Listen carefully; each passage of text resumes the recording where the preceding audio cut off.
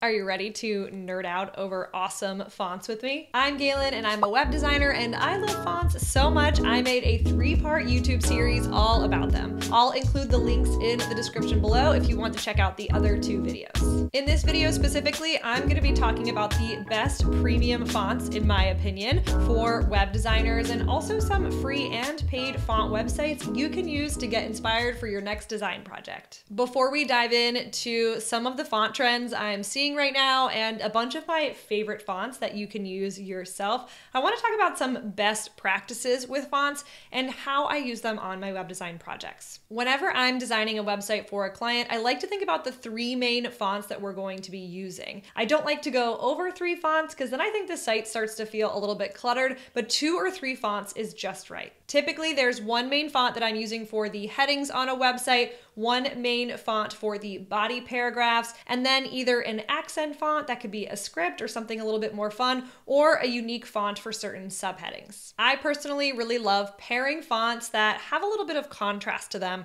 So maybe a serif font and a sans serif font, or a chunky bold font mixed with a thinner font. I think it's really fun to mix those up and I love how they look when they are next to each other. They're not competing with one another. They look unique and they come together to create a really nice finished look. It's important to keep in mind that the fonts you use on your website can really change someone's experience while they're scrolling around your site. So, for example, if your brand is a little more playful, incorporate some more playful fonts to kind of keep that vibe. If your brand is more serious, maybe pick a more serious typeface like a standard serif. The other thing that I want you to keep in mind is that you need to make sure you're purchasing the correct license or that you have access to the correct license for the font that you want to use, depending on how you're going to use it. Just because you found a free font online doesn't necessarily mean you can use it on your website project. You need to double check is that font free for commercial use? Is it free for personal use? Because if you're a small business, you can't be using fonts that are only available for personal use. Google Fonts, for example, is a wonderful resource of free fonts that are free for both commercial and personal use. So you can use them on any of your website or branding projects. But other online font marketplaces that you have are going to have different licenses. So you need to read the fine print to make sure that you're purchasing the right kind of license depending on how that font is going to be used a font that you're going to use in your logo or on print materials for your business is going to require a different license than a font that you're going to be using on your website. If you really want to stick with free fonts on your website, I can't recommend Google Fonts enough. But there's a really cool website you can use to help you decide which Google fonts are going to be the best fit for your project. This particular site is called fontjoy.com and it randomly generates different Google fonts so that you can see how they look together and pick fonts that are going to pair really nicely. All you have to do is hit this generate button here and it's going to come up with a new set of fonts. And if you like one, but you want to keep cycling through the others,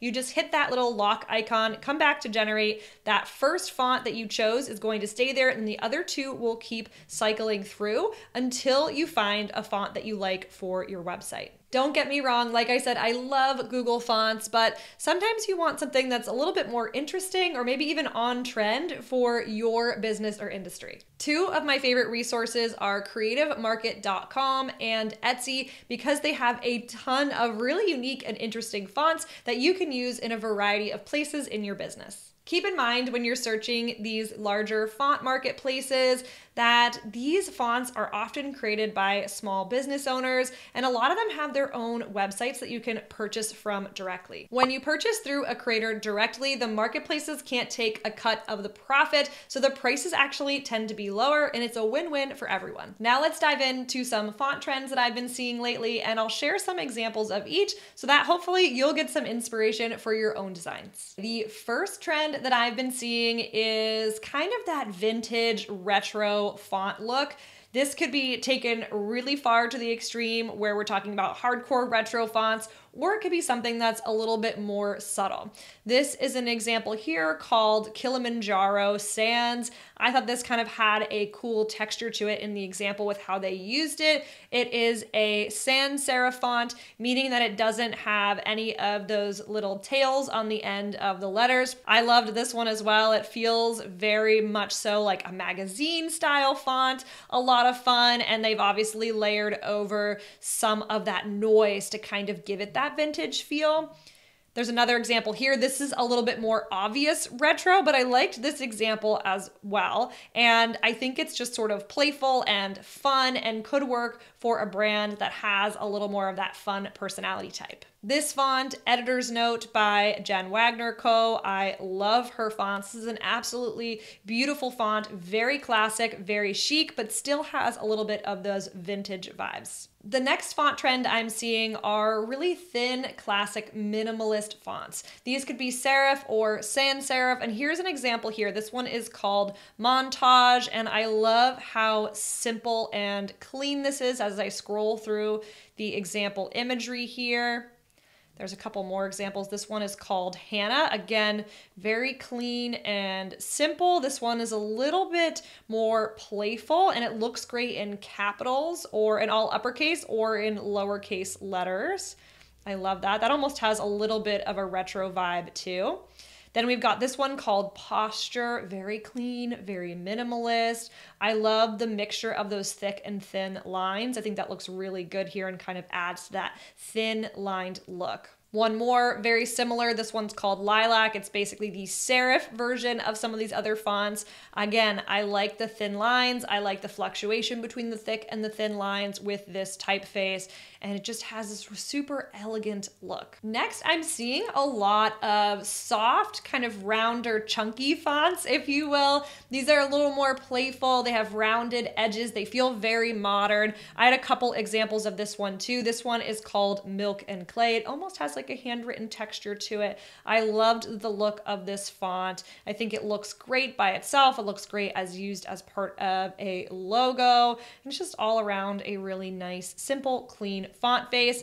This next one is a little bit more playful and it has some interesting characters. We'll talk about that in a second too. But again, kind of a fun, chunky font, and they've used a lot of bright colors here to show off the characteristics of the font and just show off that playful nature.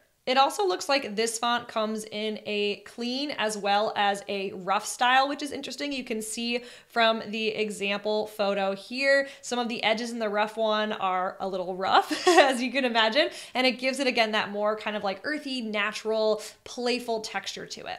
One thing I love about Creative Market is you can test out all of the fonts with your own text. So you're able to put in your own headings. I tend to like to put in the logo name to test it out or the brand name to test it out. I might put in some sample headings that you might have as like a blog post header or maybe some paragraph text just to see how the font looks with all the different characters. You also want to keep in mind that for a heading font, you can have a little bit more fun. You can go a little bit wackier with the different letter shapes and things like that because it's going to be used more sparingly and it's going to be larger and easier to read. But your paragraph text, the primary goal should be that that text is super easy to read. You don't want your website visitors, you don't want their eyes to get tired as they're scrolling through your website. So you want to make sure that your paragraph text in particular is very easy to read. And you want to have it at a size that makes it easy to scan. The next trend that I'm seeing is handwritten script fonts that actually look like handwriting.